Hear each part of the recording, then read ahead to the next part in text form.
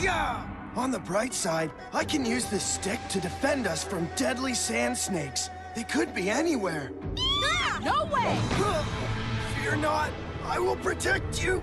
Yeah! Oh, whoa! Cool it before you really hurt somebody.